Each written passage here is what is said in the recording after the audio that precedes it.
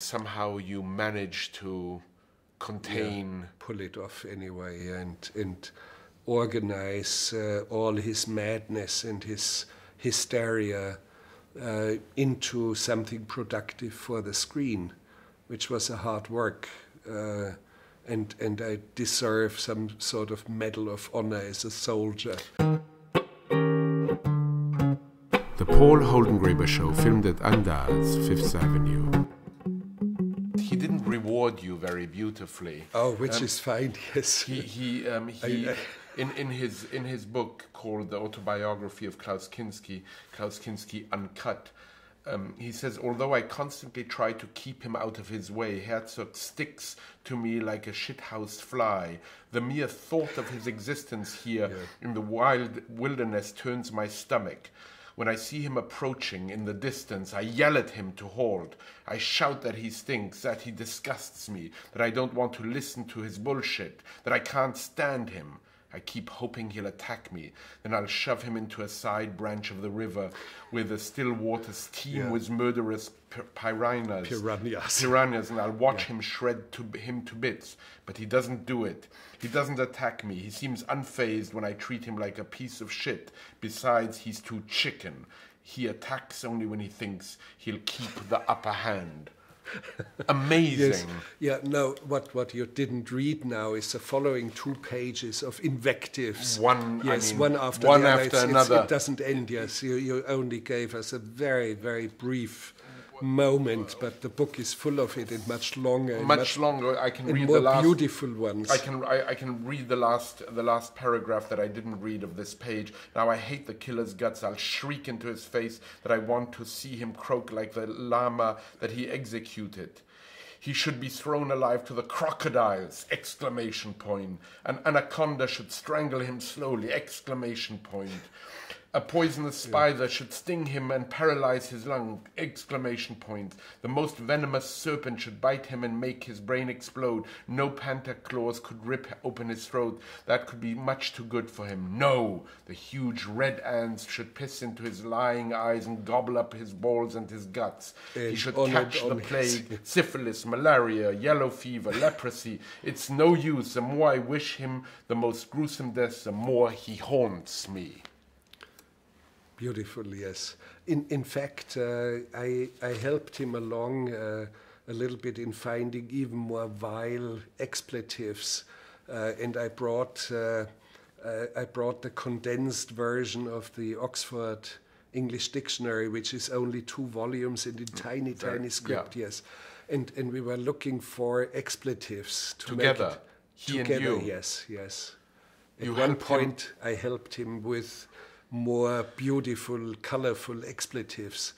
But uh, more and, and he's yeah and, and he, he was always very very open. He said, Werner, this uh, uh, this film uh, sorry this book has to sell. It has to sell the vermin, and he meant the readers. The vermin out there needs this. So he needed to feed the vermin.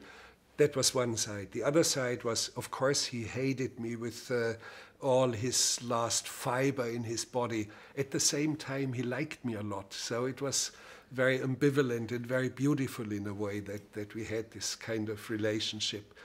Um, we complemented each other very well. And uh, in, in a way, uh, he knew that I was the one who would make him better than, in, than any other one uh, in the world who was doing films and, and he couldn't stand you could, it. You could he, bring something out of yes, him. but he couldn't stand to give credit to anyone. So that, that somebody else was mentioned next to him was unbearable for him. It was completely ego, ego not egomaniac. It was uh, egocentric. It was, it was a you need a new, you need a new word nearly. Yes, you, you, it, it, you can't describe it. Uh, I mean, in, at the at the uh, uh, beginning of Aguirre, you you have that extraordinary opening, and yeah. where you speak about also. You, there's been commentary about how he wanted to overshadow, as it were, the landscape. Yes, and and he. But besides, not only that, he wanted to have a shot of the landscape with Machu Picchu in the foreground, uh, the postcard vista. and I said to him, No, the power of this is in the detail, in a more limited shot, in a vertical cliff coming down, in the soldiers going zigzag. It's not the postcard picture. And, and it's a picture which reminds me a little bit of Hercules Segers, whom I found much later, a Dutch painter, 1620s. 1630s who had visionary landscapes that we have only seen in the 20th century or not even in the 20th century.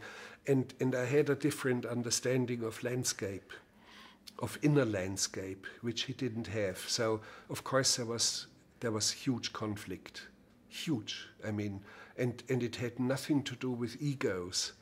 It, it was a different concept of understanding a landscape and, and understanding not, it not as a beautiful backdrop, like in postcards or like in commercials, which he had in mind.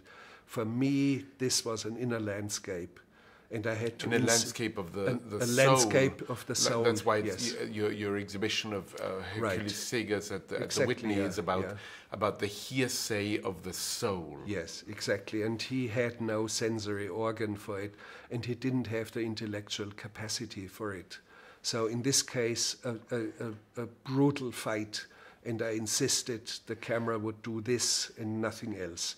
And, and then he wanted to be ahead of this army with grim face and coming straight at the camera. And I said, No, Klaus, here is a threat of 450 soldiers, an entire army descending into the lowlands of the jungle.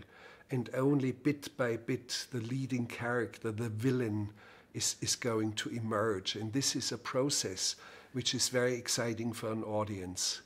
He didn't understand that either, but I took him out of this wonderful shot. He had to be eliminated.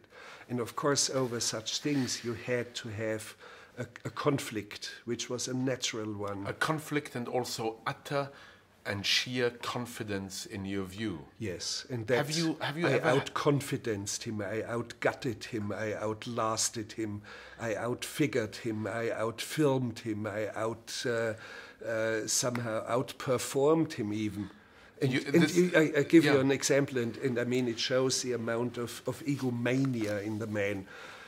We distributed in our camp in the jungle uh, breakfast on days where there was no shooting, and uh, uh, each hut would have coffee and the camera people, and then the light people and the sound people, and in a row, in, in a certain sequence of things.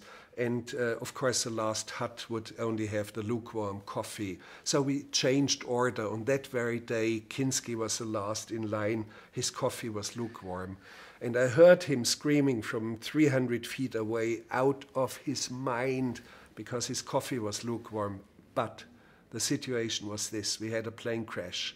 And we had a radio, a shortwave radio, which was only garbled messages. We knew something cataclysmic had happened. We knew that we only knew the plane was down, six people in it. We tried to figure out where was it. Can we send out a rescue party? Kinski arrives, screaming, already foam at his mouth, and steps that close in my face and yells at me for an hour and a half. And I try to persuade him. I try to say, Klaus, we have a plane down. Six people may be dead. We have to organize a search party. And he would yell about his lukewarm coffee. He would yell about this. And I outperformed him. You know what?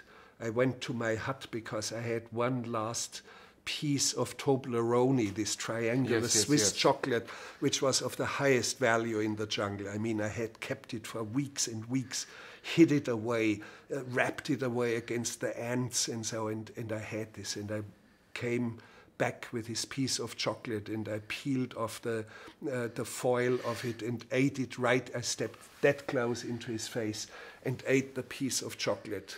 And that was too much for him. He just fell silent. And he wiped his froth away. It, it, you see, the, the froth at his mouth would harden. It was very hard, sort of froth. After an hour, it, it solidifies somehow and wiped it off, and then he, he left. And some of this was was caught on film by Not this one. Not this no, no. scene. A, a few, a few moments, milder moments of that, yes, were caught on film. But uh, and it's fun to watch it today. And, and the film I made on us, uh, My Best Fiend, Fiend. My Best Fiend, uh, I made that eight or nine years after he died. And all of a sudden, not, not all of a sudden, slowly, slowly, slowly, time that had passed has a miraculous uh, quality it makes things milder. It, uh, I saw everything with humor. Well, I was about to say with warmth. Yeah, and, All and the sudden, audience, it's a very caring, and the a audience, very warm, funny film. And the audience sees they things laugh. that laugh they laugh a lot, yeah. Kinski always yeah. said, ah, it's so erotic. He would even call in the photographer, and the photographer had to do 2,000 photos snapping in, in three hours. He, Kinski needed that to be photographed. Snap, snap, snap, snap, snap. And he would embrace a tree and fornicate with a tree in order to show how erotic wild nature, nature. was. And I said to him, Klaus, uh, I think you are wrong the jungle is not erotic, it is obscene. There's obscenity out there. There's rotting out there. There's uh, fornication out there. I mean, the ugly uh, forms of, of violent fornication, asphyxiation of vines that kill off the trees, and uh, collective, a sense of collective murder. Whatever is out there is out for murder in and, a way. And in some way, we should keep a. we can we can look at the jungle, but we should keep a respect distance. It, yeah, respect it as it is, it is. Yes, and if you are not a native who lives in the jungle and has a different rapport with the jungle, uh, we better have a good look what what's out there, and we do not. We should not somehow romanticize it. You have you have said um, that one of the reasons, perhaps the main reason, you wouldn't become an American citizen is because America is a country, in many of its states, it still executes people. Yes, but for the same reason, don't, don't turn it against America because I live here and I love your country. Um, and in some uh, instances, of course, I'm ambivalent, but I would not become a, a, a citizen of China either nor a citizen of Pakistan or a citizen of Egypt or many other countries. All the huge populous countries in the world uh, still have capital punishment. Some of them have give, done away with it. Russia, Russia, for example, just last year, I think, which is a huge achievement. It's a, it's a great achievement of Vladimir Putin, who is always put down, and it's it's still some sort of a strange reflex of the Cold War and about dreams of democracy, but nobody looks at wh- where is democracy, for example, in China. Nobody uh, puts down the Chinese leadership as being vile and debased and uh, power hungry and so. But uh, if you look at Putin, and I always look at politics. Uh, uh, without uh, this kind of tunnel view of ideology, I'm one of the very few thinking people here in America who, in a way, respects Richard Nixon, Tricky Dick, who, uh, in my opinion, was an important president, a very, very important president. When you look at the achievements, at some very monumental achievements of his predecessor, sorry, no. presidency, when you look at Tricky Dick uh, as, as complicated as a man was and as pathetic as sometimes he was, uh, it doesn't matter. He was an important president. Just go into go into Looking his achievement. Look at the achievements. Yes. So uh, same thing with tricky Vladimir. Well, he's he's a he's a man who uh, exerts power. I mean, he's not.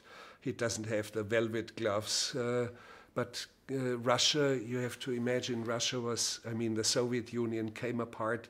Russia was unraveling, um, and uh, the Chechens, of course, wanted to, were centrifugal, and the Tatars, and the Kalmuks, and the Uyg- not the Uyghurs, but uh, uh, all the tribal areas were, were coming apart and wanted to have autonomy or their own states. He held the unity of the, the country together with an iron fist. But uh, you have to look at uh, Russian under, Russia under Yeltsin. It was kleptocracy. He allowed the country being robbed of all its resources, and every single one of these oligarchs oligarchs, there were, there were criminals, robbers. They all fled because they know they should be hanged. They should be hanged by their balls. And they, uh, they stole, for example, like Shell Oil or BP, owned by the Gambino family or Gotti or the big, big criminals out there. And uh, Putin put a stop to that and made them pay taxes now. They're so paying taxes. You're not following the, the current trends of the way people see a Putin or see a Nixon. Uh, no, because I look at what, what he's doing, and I have seen the Soviet Union, and I've seen Russia shortly after uh, after the dis, uh, disarray of the and the coming apart of the Soviet Union it was, it was a time of utmost misery uh, and where dignity of human uh, of the Russian people was, was out the window. And, and now gradually pensions are being paid, teachers are being paid, um, uh, the oil companies are paying taxes. They are modernized. When you walk the streets of Moscow or Yekaterinburg in the Urals, all of a sudden you see people who have their dignity back. It's just enormous, enormous achievements. And uh, uh, the sad part of all this is that uh, Russia, as it is now, could be a great ally of the United States. And there's something strange and not, not really moving in the right direction. I wish uh, uh, American politics would understand that there's something monumental going on, uh, much more long lasting. And Putin, for example, uh, could have easily become the dictator, but he steps back as president because the constitution would, uh, would not allow him to serve three consecutive what, terms. What advice would you give Obama in regards um, to Putin?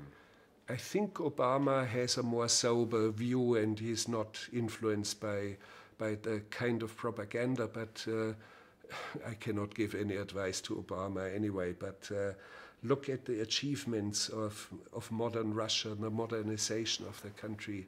Of course, much much is still very, very tough to, to grapple with. Corruption, for example, you cannot uh, uh, fix it by decree or by law. So it's a, it's a long, slow procedure. But uh, take a good look at Russia, how it is moving ahead, uh, and look at Russia as uh, a natural, a natural ally.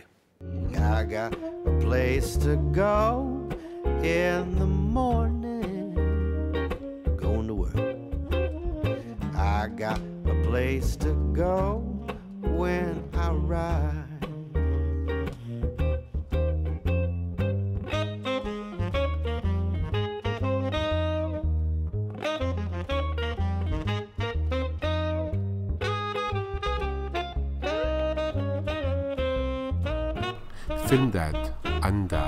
Fifth Avenue.